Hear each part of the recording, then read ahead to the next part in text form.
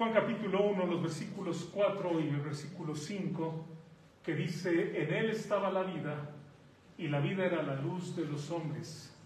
Y luego el versículo 9, el 4 y el 9, perdón, eh, dice, aquella luz verdadera que alumbra a todo hombre venía a este mundo. Y son pasajes que están hablando de nuestro Señor Jesucristo. Ahora, si usted recuerda la semana pasada, eh, ya que yo había mencionado hace dos semanas que los dos temas que menciona en este pasaje es la vida y la luz, que son dos temas que son paralelos en el Evangelio de Juan, pero son paralelos, vimos en toda, en toda la Biblia, ¿no? porque nos fuimos hacia, el libro de Génesis y de ahí vimos cómo estaba la vida y la luz. Si ustedes recuerdan, ¿verdad? Veíamos en, en perdón, en Génesis 1.3, dice, y dijo Dios, sea la luz, y fue la luz. Y en esta frase, ¿verdad? En esa, en esa frase, que si ustedes recuerdan, es la frase que Dios dijo, la primera frase que podemos decir que Dios dijo, que es Yehi Or, Yehi Or, y aquí está al revés, aquí dice Yehi Or, se ve de aquí para allá, Yehi Or. En esto que Dios dijo, sea la luz, Dios dijo, sea la luz, ahí vemos nosotros entonces vida y vemos luz, porque hablábamos del el verbo ser, que es existencia, que es vida, y cuando alguien deja de ser, pues es porque ya no tiene vida. Pero la semana pasada, digamos que el énfasis fue hablar acerca de la vida. Esta semana, hermanos, el énfasis que quiero hacer es hablar acerca de la luz de oro. La palabra luz, ¿verdad? Y para el mensaje de hoy, hermanos, vamos a ver un pictograma. Este, déjenme explicarles un poquito. Lo, lo, hice hace tiempo en un mensaje que estaba predicando, pero tal vez algunos de ustedes no estaban. Las letras hebreas, aquí hay estas letras, el Antiguo Testamento fue escrito en hebreo y en arameo. Las letras hebreas, hermanos, inicialmente eran símbolos o signos. No sé, Dani, si puedes ver aquí la cabeza de un toro. Ajá, sí se ve, ¿no? Y este era, este era el símbolo, hermanos, de la letra Aleph. Ajá. Entonces, inicialmente, hermanos, las letras hebreas simbolizan algo. Y ese simbolismo, el, hebreo ya se escribe así como lo tengo acá, ¿verdad? Así es como nosotros lo, vemos, lo leemos, bueno, lo vemos el hebreo. Pero si nosotros ponemos los símbolos originales, hay un significado en estos pictogramas antiguos, porque cada uno de ellos tiene un significado. Esta letra es la letra Aleph, ajá, el toro. Luego tenemos la letra Ba, que es como un clavo, si, si ven ahí como si fuera un clavo. Y luego tenemos Resh, que es como una cabeza. Ajá. Aquí, en esta, en este, aquí dice Or, esto lo podemos leer como Or, se traduce como luz, y aquí nosotros tenemos el pictograma, ¿no? Es lo que nosotros tenemos. Ahora, Or puede traducirse como iluminación. Ajá, nuevamente regreso ahora para que vean la palabra, aquí es la misma palabra, puede traducirse como luminaria, relámpago, puede ser, también traducido como alegría, inclusive, como astro, puede ser traducido como un símbolo de alegría, de liberación, y nos hace pensar que sin Jesucristo no hay nada de esto. Cuando dice la Biblia que en Él estaba la vida y la vida era la luz de los hombres, imagínense que Jesucristo no hay luz, no haya, sin Jesucristo no hay luz, no hay alegría, sin Jesucristo no hay gozo, no hay absolutamente nada de lo que nosotros podemos tener en, el Señor Jesucristo. Ahora, en base a este pictograma que yo les estoy mostrando, hermanos, quiero que pensemos en las siguientes ideas. La, la Aleph, que es la cabeza de toro, representa, hermanos, puedo decirles, representa liderazgo.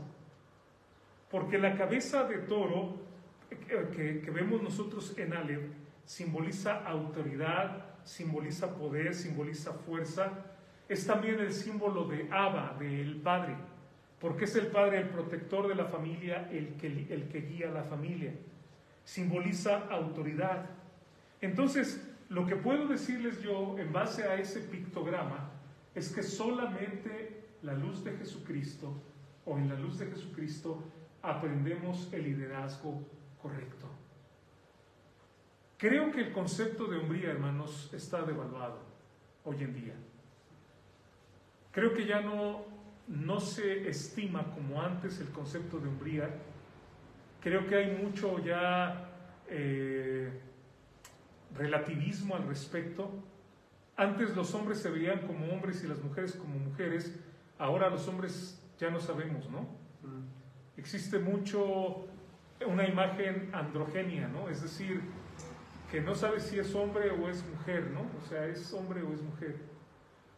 Los hombres hoy en día, hermanos, y también lo digo para, para educar a nuestros hijos, eh, los han hecho más delicados, ¿no? Antes, o sea, yo puedo pensar en mi papá, mi abuelo, la gente de antes, aguantaba muchas cosas, jornadas de trabajo, eh, trabajos horribles donde tuvieron que trabajar. Y hoy si el niño ya no quiere algo, pues ya no, si ya no, este, eh, un fenómeno que hemos visto mucho los que hemos estado, estamos en el, en el área de la educación, es como los jóvenes de preparatoria los cambian de una prepa a otra y están continuamente dando vueltas porque pobre muchacho lo trataron mal, es que los maestros no lo quieren y todo el mundo tiene la culpa menos el muchacho, ¿no? Eh, me ha tocado estar a mí en conferencias con padres y con hijos diciéndole al padre, es que mire, su hijo hizo tal cosa o su nieto ha hecho esto. Y todavía me dice, este, es que eh, no puedo creerlo, está educado con los mejores valores y... ¿Qué podemos hacer ante eso, no? Cuando alguien no puede creer lo que un profesor que está viendo el comportamiento del hijo le está diciendo, ¿no? Pues ni modo que vamos a inventar cosas. Pero la realidad, hermanos, es que no hay cursos de hombría y no se ofrecen, ¿no? O sea, yo no he visto nunca, por ejemplo, en internet, oiga, se ofrece un curso para ser más hombre, ¿no? Y luego la idea completamente equivocada que la gente tiene de lo que es un hombre, pues está errónea, porque ¿qué piensa la gente? Que un hombre es un macho, ¿no? Un hombre es alguien que que llega, golpea, que grita, que es bravucón, que trae una navaja, una, una pistola y que se hace su voluntad. Eso no es un hombre. Luisito, Dani, eso no es un hombre. Eso es una imagen equivocada de lo que realmente es un hombre. Pero piensen en Jesucristo como hombre. Tenía una comunión inquebrantable con su Padre. Él dice, nada de lo que yo hago lo hago por mi propia cuenta, sino que lo hago porque es la voluntad de mi Padre. Era un excelente ejemplo como persona, ¿no es cierto? Como hombre, como hijo. ¿Se acuerdan que veíamos cuando hablamos de las vidas cómo cuidó a una María en la cruz y le dijo a, Juan, ahí está tu madre, madre, ahí está, ahí está tu hijo, ¿no? Este, y le encargó a su mamá, a, Juan. Como hermano también, pues sabemos que acabamos de leer un, capítulo de un hermano del Señor Jesucristo que escribió una carta. Era estable, nunca lo vemos que esté cambiando de, humor, era paciente, era sobrio, gobernaba sus emociones, era trabajador, ¿no es cierto? Lo vemos en varias ocasiones cuando está sentado en el pozo descansando y está la mujer samaritana y en lugar de descansar él le comparte la palabra de Dios a la mujer samaritana. Era generoso, ayudaba a la gente, era responsable, tenía un corazón perdonador. Qué bonito se acuerdan cuando traen a esa mujer sorprendida en adulterio y el Señor en lugar de condenarla dice, vete y no peques más. Era leal, era justo. Dice la Biblia que él era manso y humilde de corazón. Tenía convicciones firmes y estaba lleno de amor y de compasión para la gente. Qué maravilloso hombre, ¿no? qué precioso hombre podemos decir. Y por eso, hermanos, cuando hablamos de luz, estamos hablando también de la idea de un liderazgo correcto. Porque nosotros, hermanos, necesitamos tener un liderazgo correcto. Siempre. Necesitamos tener un liderazgo. Ahora, también, hermanos, la palabra, perdón, la letra Ale nos habla de fortaleza. Ese toro del que estamos hablando nos habla también de fortaleza. La segunda aplicación que quiero que vean en base a esto es que solo en la luz de Jesús tenemos fortaleza en los momentos difíciles de la vida. Ay Señor. Acabamos de leer Santiago 1.2. Y Santiago 1.2, hermanos, dice así, hermanos míos, tened por sumo, ah, lo tengo aquí, hermanos míos, dice, tened por sumo gozo cuando os halléis en diversas pruebas. Y cómo, hermanos, la vida en el plan de Dios nos sorprende con diferentes pruebas. ¿No es verdad? Este, por ejemplo, una, una de las cosas, los que enfermamos de COVID y, tuvimos ansiedad, qué horrible, ¿no? una piedra en el estómago y, y no, no se quita con nada, ¿no? Qué horrible. Cuando tenemos un hijo enfermo, cuando eh, enfrentamos una situación que nosotros no podemos controlar, cuando las finanzas no alcanzan, hermanos, cuando vamos con un médico y otro médico y no nos pueden decir realmente qué es lo que tenemos y empezamos a preocuparnos.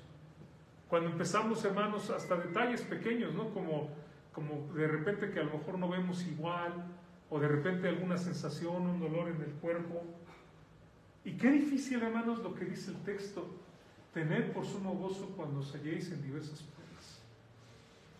Yo le daba muchas gracias a Dios y, bendecía mucho a Dios en la semana y el jueves, eh, recordando las palabras de Aurora del domingo, que decía que el Señor ha estado con ella y le ha mostrado su, su poder y su amor y que ha respondido y, decía ella, yo estoy, estoy lista ¿no? para que Dios haga conmigo lo que Él quiere. Son palabras bonitas, hermanos, de fe, de confianza, en momentos difíciles. Y saben una cosa, todos, o sea, no podemos escaparnos de pasar por pruebas y por dificultades. Pero ¿dónde vamos a tener la fortaleza que nosotros necesitamos para esos momentos? Jesucristo. Este texto, hermanos, hermanos míos, dice, tened por sumo gozo cuando os halléis en diversas pruebas. Y quiero decirles que esa palabra diversas, esta palabrita, hermanos, es la palabra griega poikilos. Aquí dice poikilos. Se parece un poquito, bueno, no mucho, pero un poquito. Ahí dice poikilos, aquí dice poikilos. Y poikilos, hermanos, tengo esta imagen de este gallo porque yo sí he visto gallos que tienen plumaje como de mucho color, ¿no? No sé si se les llame tornasol o... No sé, no sé el nombre exactamente de... Porque ya ven que la gente les pone... A los gallos tienen como clasificaciones, no sé exactamente cuál sea, pero he visto esos gallos de, un plumaje de muchos colores. Y a lo mejor, no sé, Luis, has visto tal vez algún gallo así, ¿no? De, de muchos colores. La palabra poikilos, hermanos, es una palabra que significa de muchos colores. De ahí viene la palabra también que puse aquí, pictórico, porque pictórico tiene que ver con pintura y las pinturas normalmente están hechas de muchos colores, ¿no? O sea, si nosotros vemos un cuadro de, no sé qué pintor les gusta, Picasso les gusta, o de Dalí, o de cualquier pintor, vamos a ver que son muchos colores, y de ahí viene entonces la palabra pictórico, poigilos, pictórico, de, muchos colores, de variados colores. Algo que se me hace muy bonito es que fíjense, Santiago dice, tengan mucho gozo cuando se, se hallen en pruebas de diferentes colores. Pensemos en las pruebas de diferentes colores, ¿no?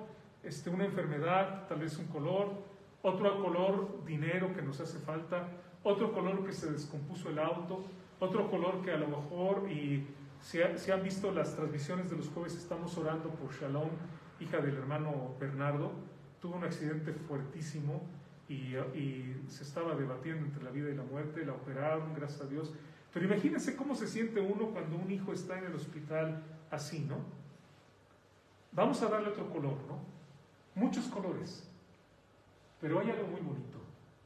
Pedro dice en primera de Pedro 4.10, la multiforme gracia de Dios. Y esta palabra multiforme, hermanos, ¿qué palabra creen que sea? La misma. La misma. La misma. ¿Qué quiere decir esto, hermano? Quiero que pienses que tal vez el cuadro de tu vida tiene muchos colores. El cuadro de tu casa, el cuadro de tu persona, de tu familia. Pero no importa de qué color está pintando la vida, de qué color estás teniendo el problema. No importa, vamos a decir, si, si al azul le damos el color de problema económico y si al rosa, al rosa le damos el, el, color rosa nos representa, vamos a decir, problemas este, de salud. Y no sé, el color verde representa problemas con la familia. Y usted puede imaginarse la multiforme gracia de Dios. Lo que dice Pedro, hermanos, es que esa gracia de Dios, que es también diversa, puede casar con el problema que tú tienes. O sea, si tú tienes un problema de economía, Dios dice, yo tengo una solución para ti. Si tú tienes un problema de enfermedad, Dios dice, yo tengo una solución también para ti. No importa el tipo de problema que tú tengas y que tú digas, es que para esto no hay solución, es que para esto no hay nada, ya intentamos todo. Dios, hermanos, en su bendita gracia, tiene un color para resolver el problema que tú tienes. Y sabes una cosa, es Dios, hermanos, el que en los momentos más durísimos nos puede dar paz. Solamente Dios nos puede dar paz y nos puede ayudar. Casar, su gracia casa, vamos a decir, casa con ese problema que tú tienes. Y al mismo tiempo Dios es el único que puede dar paz en nuestros corazones. Dice la palabra de Dios, y esto es algo imposible, el hombre no lo puede hacer. Vean Filipenses 4, el versículo 6 y el versículo 7. Léanlo conmigo en voz alta, por favor, hermanos. Dice, por nada estéis afanosos sino sean conocidas vuestras peticiones delante de Dios en toda oración y ruego con acción de gracias. Y la paz de Dios, que sobrepasa todo entendimiento, guardará vuestros corazones y vuestros pensamientos en Cristo Jesús. Dice el, texto, por nada estéis afanosos. ¿Por qué, hermanos? Porque cuando tenemos un problema, inmediatamente, y, siempre me gusta que dice el texto que va a guardar nuestros corazones y nuestros pensamientos, porque yo pienso son los dos lugares donde nos afecta el problema. Estoy ahí, ¿verdad? Hace un momento hablaba de la ansiedad y ese sentimiento tan horrible que, que uno siente en esta parte, ¿no? Cuando está ansioso y el pensamiento y volver a pensar en lo mismo y a ver qué va a pasar y qué va a suceder y empezar a ver todas las, situaciones y en algún momento esa, esa, ese afán, hermanos, nos empieza a preocupar y nos, nos empezamos a veces inclusive hasta enfermar más por estar preocupados, por estar ansiosos. Dios sabe que somos así los hombres, hermanos. O sea, no podemos nosotros decir es que yo soy un superhumano que a mí no me afecta nada. Puedo ver que alguien se está muriendo y yo no me pasa nada. Puedo ver que alguien tuvo un accidente y no. Somos nosotros, hermanos, seres humanos. Y yo les aseguro que si viéramos que van pasando unas niñas aquí enfrente y un carro las, las atropella y nosotros lo viéramos, a lo mejor hasta nos da diabetes. Nada más de verlo. Aunque sean personas que no tienen nada que ver con nosotros, porque eso me afecta. ¿Cómo no me va a afectar mi familia? ¿Cómo no nos van a afectar nuestros hijos? Pero Dios que nos conoce, hermanos, y por eso digo que en Jesucristo hay esta bendición. Él puede darnos esa fortaleza. Podemos poner nuestras peticiones delante de Dios en oración, en ruego. Y luego dice una cosa preciosa. la paz de Dios que sobrepasa todo entendimiento. Cuando la gente dice, ¿cómo puedes estar tranquilo? Oye, ¿cómo te veo tan como si no pasara nada? Esa paz va a guardar nuestros corazones y nuestros pensamientos en el Señor Jesucristo. Dicen que hubo un concurso hace muchos años de un concurso de pintura donde el tema era la paz. Entonces dicen que hubo muchos pintores que pintaron cuadros que representaran la paz. Había cuadros, por ejemplo, de una pradera con un horizonte precioso y un caballo corriendo. Representaba la paz. Había un cuadro también de un bosque y un ciervo bebiendo agua. El cuadro que ganó, hermanos, y no lo tengo aquí, pero tengo una representación. Ah, si se escucha, que sé que no se oír. El cuadro ganador de la paz fue un cuadro donde había una cascada con el agua cayendo con toda su fuerza, poderosamente. Y al lado de la cascada había un nido, y en ese nido estaba un vencejo con sus crías durmiendo plácidamente. Ese pajarito se llama vencejo, aquí lo tengo. Y bueno, ya, ya le quité también por el ruido, porque a ni me escuchan, se oye más. Pero imagínense el cuadro, no lo tengo hermanos, pero imagínense un cuadro donde está una cascada cayendo con toda su fuerza, el agua con todo su poder, haciendo un ruideral, pero al lado, en un arbolito ahí, hay un vencejo, un pajarito con sus crías y están durmiendo. Ese fue el cuadro ganador. ¿Por qué? Porque eso es lo que es paz. No que todo está bien, ¿no? Pues cuando todo está bien, ah, pues qué padre. Pero cuando las cosas están difíciles, cuando las cosas no son como nosotros queremos, hermanos, y Dios nos da su paz, es ahí cuando de verdad nosotros podemos decir, este es algo que solamente viene de Dios, solamente de nuestro Señor. La luz, hermanos, tercera aplicación. La luz es necesaria para poder ordenar. No se puede, ¿no? O sea, eh, mamás, ¿qué es lo que hacen ustedes cuando van a ordenar el cuarto de sus hijos? Abren las ventanas inmediatamente, ¿no? Para que entre luz. Es más, si de hecho, si está cerrado, le dicen, oye, ¿por qué está aquí todo oscuro? Abre las ventanas, prende la luz, ¿no? Porque está tú, estás aquí en una penumbra. La luz es necesaria para ordenar. Y solamente, perdón, en la luz de Jesucristo vivimos una vida ordenada. Solamente en Jesucristo vivimos una vida ordenada. ¿Cuánta gente, hermanos, ha tratado de ordenar su vida en sus propias fuerzas? ¿Cuántos dicen, ahora sí voy a cambiar, ¿no? Como la canción, hoy voy a cambiar, ¿no? Hay una canción de Lupita D'Alessio, ¿no? Que dice así, ahora sí le voy a echar ganas, hoy sí voy a ser diferente. ¿Cuánta gente, hermanos, sabemos que tal vez antes de estas fechas, porque son en estas fechas cuando rompen las promesas, pero antes de esas fechas van a algún lugar a jurar, ¿no? Y dicen, voy a jurar para que ya no vuelva a tomar, y por no sé cuánto tiempo no voy a tomar y pensamos, bueno, ya dejó de tomar, no, nada más hizo una pequeñísima pausa porque al rato regresa y regresa pero, con más ganas, exactamente, regresa pero peor, ¿no? ¿Cuánta gente trata de cambiar, pero no puede, hermanos? Porque sin Jesús no hay un verdadero cambio. Sin Jesús tratamos de ordenar nuestra vida, pero no podemos ordenarla. El único que puede ordenar nuestra vida, hermanos, es solamente el Señor Jesucristo. Y un versículo que ustedes verán que yo pongo muy frecuentemente en muchos mensajes, porque es un versículo que a mí me impacta, es 2 Corintios 5, 17. Porque dice, de modo que si alguno está en Cristo, vean lo que dice. Si alguno no está en Cristo, entonces esto no se puede, ¿verdad? Esa es la, ese es, vamos a decir, el condicional que se debe de cumplir. Si alguno está en Cristo, dice el texto, nueva criatura es. Si no está en Cristo, no es nueva criatura. O sea, queremos que una persona deje de tomar, deje de decir mentiras, se porte bien, haga... Si no tiene Cristo, no va a poder. Va a intentar, va a tratar, pero todos los esfuerzos que haga, todo lo que, lo que intente, tarde o temprano va a fracasar. Pero si alguno está en Cristo, nueva criatura es.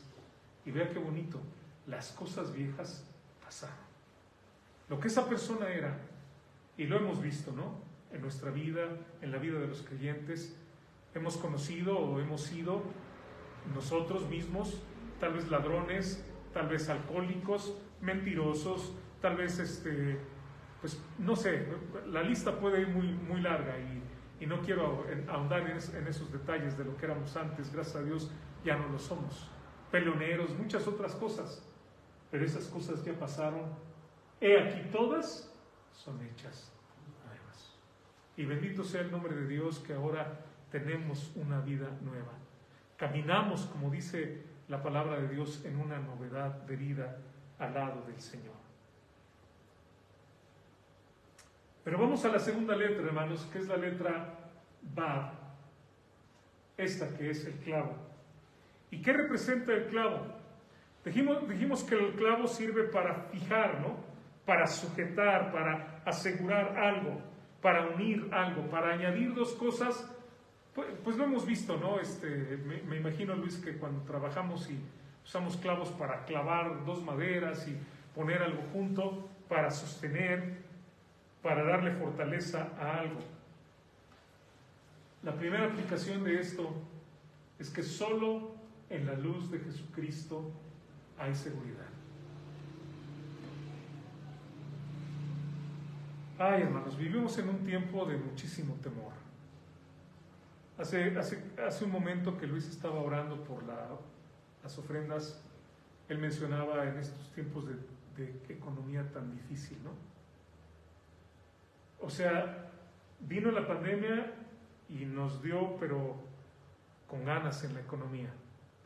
Se quita la pandemia, o bueno, todavía no, porque ahorita están otra vez a la alza los contagios, ¿no?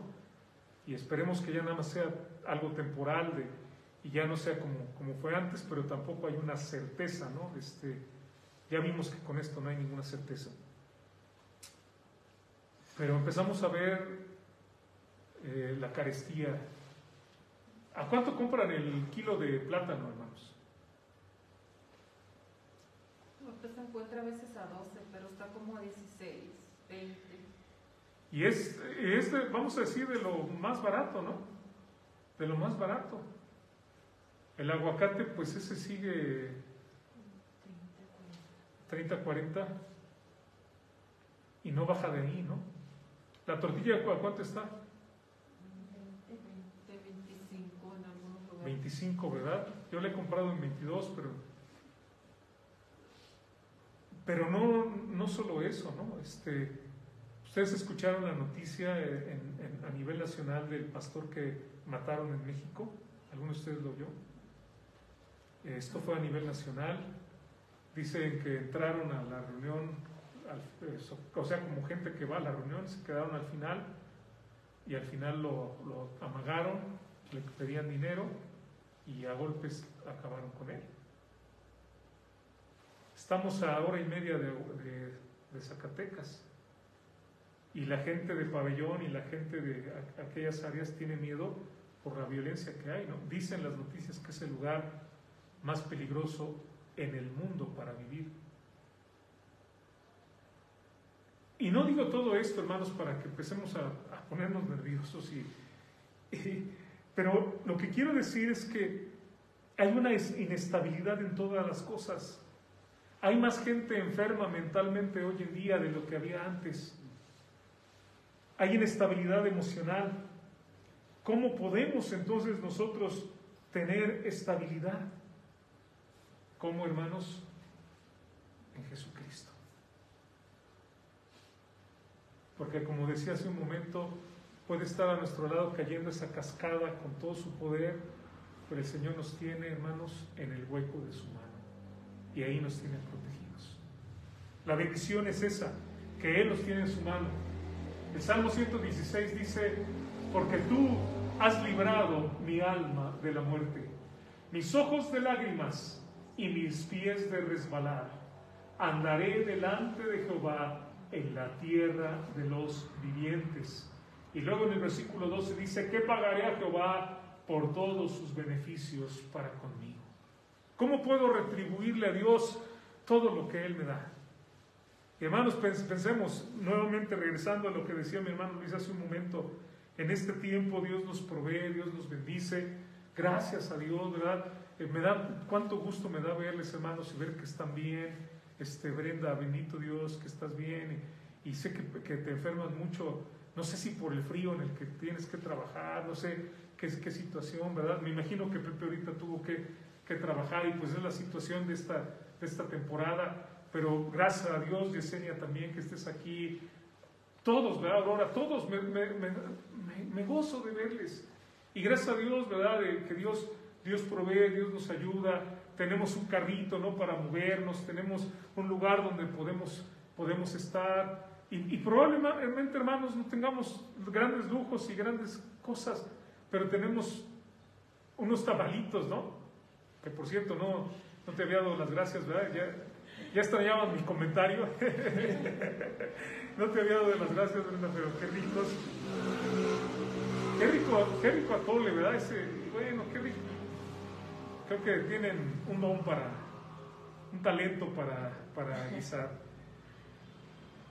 Pero es solamente Dios, hermanos, el que nos da estabilidad. Vean lo que dice el Salmo 40. Pacientemente esperé a Jehová y se inclinó a mí y oyó mi clamor y me hizo sacar del pozo de la desesperación. Vean estas palabras, del pozo de la desesperación, del lodo cenagoso. Puso mis pies sobre la peña. Imagínense un lodo cenagoso, un lodo como si fuera arena movediza, donde tú tratas de salir y, y saben lo que pasa, ¿no? En las arenas movedizas tratamos de salir y nos hundimos más, ¿no? Eh, no a lo mejor no hemos estado en arenas movedizas, no lo sé, pero yo, por ejemplo, sí lo he experimentado cuando luego he ido a lugares que están muy, muy anegados, muy cenagosos, y uno camina y se quedan los zapatos. O sea, da el, paso uno y, uno dice, ah, caray, ¿y ahora qué pasó? Se queda ahí pegado. Y nos ha pasado, por ejemplo, con carros, cuando vamos a algún lugar así, se atasca y no lo podemos sacar. O sea, imagínense, o sea, David está expresando, Señor, yo así me he sentido. Ha habido momentos en, mi vida en que me he sentido que estoy ahí y no puedo salir. Y trato de dar pasos y no puedo salir. Pero vean lo que dice. Puso mis pies sobre peña y enderezó mis pasos. Y luego puso luego en mi boca cántico nuevo, alabanza a nuestro Dios. Verán esto muchos y temerán y confiarán en y qué bonito porque aún nuestra vida con esas bendiciones es testimonio para la gente de que Dios es todopoderoso. Porque así como cantábamos hace un momento, ¿verdad? Bendito Jehová, el Dios de Israel, el único, el que hace maravillas. Lo vemos en nuestra vida y la gente puede, puede verlo y decir, ah, cómo Dios les ayuda, ¿verdad? Cómo Dios está con ellos. Cómo tienen confianza esas personas cómo en medio de todo esto ellos siguen siendo fieles y siguen confiando en Dios y ven a su Dios, porque si es nuestro Dios, es nuestro pastor, ¿verdad? Lo ven en sus vidas. Qué hermoso, hermanos, ¿no? Qué, qué bendición de nuestro Dios. Pero regresando a Abad, a esa, a esa letra que simboliza clavo, hermanos, la luz también, en este sentido, es símbolo de unión. Y la siguiente aplicación, solo en la luz de Jesucristo hay verdadera unión. El clavo une, ¿no? Los clavos los ponemos cuando algo se está, está ahí bailando, está tembeleque y le ponemos un clavo y lo une y lo fija. Y pensando en este significado de cómo también la luz une, hermanos, estaba pensando, por ejemplo, eh, en los siguientes ejemplos, ¿no? Por ejemplo, una fogata. Vamos a un campamento, nos vamos a lo mejor a Veracruz, ¿no? A ver qué día vamos a, Veracruz. Y este, y ahí este, a lo mejor, no lo sé, ¿verdad? Estoy inventando, a lo mejor no lo hacen, pero no sé. a lo mejor cerca de la, de la playa, a lo mejor no hay ni playa, pero cerca de un río, en algún lugar, ahí en el monte, en donde sea, hacemos una fogata y a lo mejor alguien está asando ahí un, otra vez yo con la comida, ¿verdad? Pues mejor, este, unos malvaviscos o algo, o no están asando nada, pero ya nos juntamos todos y con una guitarra, ¿y qué, qué, qué significa eso? En esa luz estamos uniéndonos. Pensaba también, hermanos, en la, los cumpleaños, ¿no? Es interesante que cuando alguien cumple años, le hacen un pastel y, el pastel tiene velitas, ¿no? Que están encendidas. Y alrededor de esa luz que está ahí, todos nos unimos para cantar feliz cumpleaños y desearle que le vaya muy bien a la persona. Pues sí, lo vemos en estos ejemplos, solamente en Jesucristo hay verdadera unión. Y sin Jesucristo, hermanos, no hay unión. También la gente trata de unirse de muchas formas. Y lo terrible es que termina separándose, ¿no? Poniendo barreras. Fíjese cómo la gente carnalmente trata de unirse y a veces son arrogantes, ¿no? El, el, día que tuvimos el convivio se me hizo tan bonito. Bueno, es que así debe de ser. La Biblia dice que comían juntos, hablando de los creyentes, con alegría y sencillez de corazón. Y había frijolitos, y había tamales, y había todo eso. Pero nadie, o sea, no había nadie que dijera, ah, yo traje, no sé, yo traje un lomo. Me explico, no había una arrogancia de decir, es que me hizo, no, no, nadie trajo algo, como en a veces en ciertas ocasiones eso se, se ve, ¿no, hermanos? O sea, no debe de ser, pero hay ocasiones que hay gente que alardea, ¿no? De que, ay, eh, estos, estos pobrecitos nada más trajeron esto, yo. No. Compartimos de todo, comimos de todo, con una alegría y con una sencillez realmente de nuestro corazón. Cuando no está Jesucristo, a lo mejor sí hay reuniones, pero hay arrogancia, hay desprecio. Ay, yo no voy a comer de aquello, ¿no? Ay, eso no. ¿Quién lo hizo? Y, empezar, no, no hay arrogancia en Jesucristo, no hay soberbia. Cuando nosotros estamos en Jesucristo, hermanos, amamos con un amor ágape y también eso es algo muy bonito, estamos dispuestos a compartir. Algo que pasó ese día es que yo vi que todos nos llevamos itacate, ¿no? Todos llevamos un poquito de itacate. Y nadie dijo, no, pues es que esto es nada más para mí y ya, ya el que comió, comió y el que no, pues ya, ya se aguanta. Tuvimos la bendición de poder compartir, hermanos, porque cuando tenemos a Cristo, tenemos ese amor por convicción que llena las necesidades de los demás. ¿Cuánta gente me ha dicho, y lo, he visto yo en muchas familias, es que estamos muy desunidos? Es que por más que tratamos y hacemos, no nos unimos. Pues yo le digo una cosa, sin Jesucristo no se puede unir, porque salen siempre los intereses personales porque siempre salen las agendas ocultas, porque siempre estamos pensando en lo que a nosotros nos parece. Cualquier esfuerzo que la gente haga para unirse sin Cristo es vano. Solamente en Jesús hay verdadera unión. La última letra, hermanos, y les dije que hoy íbamos a ver luz y que íbamos a ver todas estas aplicaciones, es Resh, es la cabeza. Así que la cabeza, ¿verdad?, representa al que es el jefe, al que es el líder, al que tiene la autoridad. Y por lo tanto, como líder y como autoridad, es el que guía, y puedo yo usar la palabra influencia.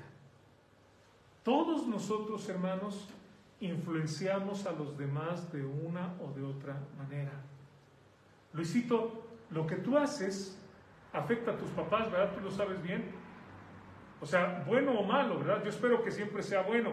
Pero lo que nosotros hacemos, ninguno podemos decir, es que yo no tengo ninguna influencia. No, todos tenemos influencia. Todos tenemos algún tipo de influencia. Pero solamente cuando yo vivo bajo la autoridad de Dios, en la luz de Jesucristo, mi influencia va a ser buena. Un texto en Mateo 5:16.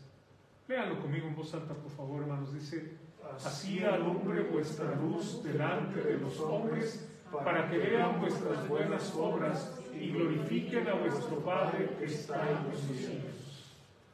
Dice el texto, así alumbre vuestra luz. En este pasaje también nos habla de la sal. Ahora les voy a decir, dos, les voy a decir una cosa en la que son común la luz y la sal. A lo mejor ustedes me dicen, Dani, es que la sal y la luz no se parecen en nada. ¿A poco yo me como la, la luz, verdad? Imagínense una lámpara, mejor no le aprieto, ¿verdad? Porque esto es un láser y no, no sé si me vaya a quemar. Pero ¿a poco voy a, voy a este, y disculpen por eso, ¿verdad? No, no vaya a alguien después a querer hacerlo, ¿verdad? Este, o una lámpara que yo agarre, ¿verdad? Y me la ponga, ah, voy a comer. No. O voy a agarrar luz para alumbrar, no. Pero les voy a decir en qué son similares la luz y la sal. Las dos cosas tienen influencia. ¿Qué pasa cuando yo le pongo sal a la comida, hermanos? Ustedes digan. Agarra más. Ah, exactamente. Si nosotros no le ponemos sal, por ejemplo, a los frijolitos, ya no saben, ¿no?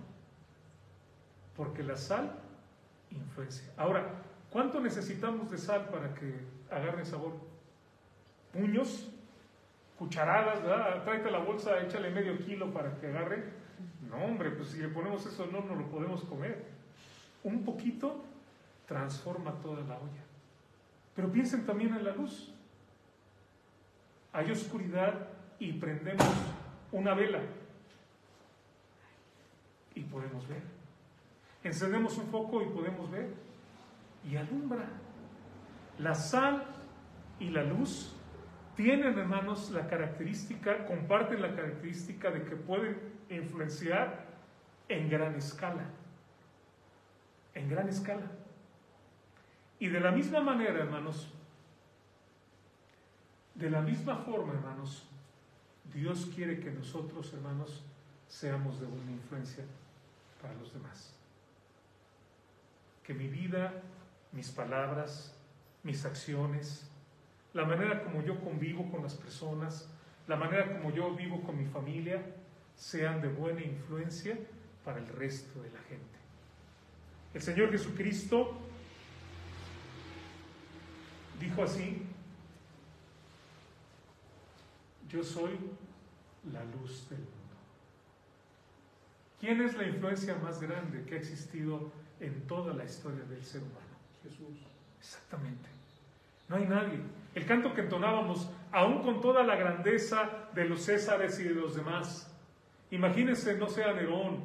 Imagínense, que por cierto no es un nombre de perro, ¿verdad? Fue un emperador romano. Imagínense a Nerón, imagínense a, Napoleón, imagínense al mismo Hitler, matando gente arrogante, diciendo es que vamos a nosotros a ser una raza que va a ser la, mejor raza de toda la humanidad y vamos a acabar con la gente enferma y doliente. Toda la gente que en algún momento trató de conquistar el mundo, hermanos, hoy no están. Y yo les aseguro que muchos de ellos ni siquiera los recordamos. Hay gente que tal vez hizo esfuerzos, esfuerzos por tratar Nimrod en su momento, ¿no? Y podíamos hablar de nombres y nombres de, de, gente que trató de conquistar el mundo. Hoy en día están olvidados. Pero la luz del mundo, Jesucristo, con una actitud humilde, manso y humilde de corazón. ¿Cuántas veces Jesucristo agarró una espada para pelear? La Biblia no nos dice que haya agarrado un arco y que le haya lanzado una flecha a alguien. No. No nos dice que haya agarrado un palo y le haya pegado a la gente. Es más, la historia que nos dice la Biblia cuando Jesús hace un látigo y tira todo, todo el negocio que tenían ahí, los, pues era un negocio de los sacerdotes, no nos dice que le haya pegado a la gente. Lo que hizo fue tirar todo eso. Porque dijo, esta es casa de oración y ustedes la han hecho una cueva de ladrones. Pero con esa actitud humilde, hermanos, el Señor Jesucristo es la influencia más grande que hay en la humanidad. Y vean lo que dice el Señor Jesucristo. Yo soy la luz del mundo. El que me sigue no andará en tinieblas, sino que tendrá la luz de la vida. Nuevamente, hermanos, los conceptos que hemos estado hablando. Luz y vida. ¿Qué dice el Señor Jesucristo? Yo soy quien te da seguridad. Yo soy quien te da unidad. Yo soy quien te da fortaleza en los momentos difíciles. Yo soy el que te da orden. Yo soy quien te puede dar todo lo que tú necesitas. Paz en tu corazón. Si tú me sigues, tú no andarás en las tinieblas del maligno. Y hermanos, me da tanta tristeza cuando veo, sobre todo en estas fechas, ¿no? Que empieza a haber récords de alcohol, ¿no? Este, estaba el otro día viendo una noticia de que, no sé, 260 personas ya en los primeros días de, este mes habían este, agarrado por exceso de alcohol manejando en la Ciudad de México los llevan a un lugar que le llaman el torito, no sé si ustedes saben de esto, pero les hacen la prueba del alcoholímetro y entonces los remiten a ese lugar. Y uno dice 200 y tantas personas, 260 personas que son peligro para ellos, sus familias y para otras personas, ¿no? Y ahí están. Y yo me imagino, ¿verdad?, que el día de hoy y, y esta semana la gente va a empezar a ir a los centros comerciales a comprar botellas, se ponen hasta de oferta, ¿no? Y tan carísimas, yo no, yo no entiendo eso, ¿no? Cómo la gente gasta tanto dinero en, en eso, pero carísimas las botellas. Y hermanos, andan en tinieblas, porque ellos creen que eso es diversión. Y no se dan cuenta que con eso están enseñando a sus hijos a seguir el alcoholismo. No se dan cuenta que con eso a lo mejor van a causar un problema no se dan cuenta que con eso tal vez en la casa haya violencia y haya todo tipo de maldad porque están en las tinieblas del diablo. Vea la comparación que hay en la Biblia, hermanos, entre la luz y las tinieblas. Cuando nosotros mismos estamos en algún lugar, ¿a quién de nosotros nos gusta la oscuridad? La oscuridad nos provoca a veces hasta temor, ¿no es cierto? Y no solamente que pensemos que, que hay algo ahí extraño, pero si hay un bicho, por ejemplo, si hay una araña, Imagínense la oscuridad, ¿no? Una araña alguna cosa que nos pueda picar. Y en cambio la luz, hermanos, nos provoca. O sea, esto no tenemos que ser psicólogos ni nada, sencillamente por pura observación. La luz, hermanos, nos provoca gozo, alegría, nos gusta, nos gusta. ¿Cuántos niños yo, yo he visto luego con una lamparita, ¿no? Y andan con la lamparita, ¿no? Este, echando la luz donde... ¿Por qué? Porque es algo, es algo que nos agrada, queremos ver luz, queremos ver qué hay por ahí. El Señor Jesucristo, hermanos, es la luz del mundo. Y el texto termina. El que me sigue no andará en tinieblas. Pero ¿qué dice? Sino que tendrá la luz de la luz de la vida. Con eso comenzó nuestro estudio. Hablando de estos dos temas, la luz y la vida que solamente Cristo puede dar. Y con eso terminamos. Solamente en Jesucristo podemos tener luz y vida. Todos los simbolismos que hemos visto acerca de la luz, que hemos estado viendo en estas tres semanas, si hablamos de sabiduría, de, felicidad, de gozo, si hablamos de seguridad, si hablamos también de liderazgo, si hablamos de influencia, todo eso, pero también la vida. ¿Se acuerdan que veíamos todo lo que respira el ave Jehová? Y una vida que es, que es una vida física, una vida espiritual, una vida abundante y una vida eterna. Todo, absolutamente eso, lo tenemos en el Señor Jesucristo. Quiero decirle, amigo que me escucha, si usted aún no tiene a Jesucristo en su vida, hoy tú, usted puede hacerlo, usted puede invitarlo Usted puede pedirle a Él perdón por sus pecados, decirle al Señor, perdóname Dios, límpiame, lávame de todos mis pecados. Y pedir a Jesucristo que venga a su corazón a ser su Señor y a ser su Salvador. Y para los que somos creyentes, hermanos, apreciemos y tomemos esa bendición que es nuestro Señor Jesucristo. Esa luz que hay en Él y esa vida para caminar con Él todos los días. Vamos a orar.